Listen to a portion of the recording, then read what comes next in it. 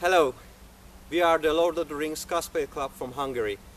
We've been challenged to do this ice bucket challenge by our friends and fans and we would like to donate for the Demeter Foundation uh, for leukemian children. And before we do this, we would like to nominate, first of all, the Star Wars uh, Cosplay Club from Hungary, the 501 Legion. Secondly, the Weta Workshop, the entire staff. And mostly, of course, Sir Peter Jackson. Go. Egy, kettő, három!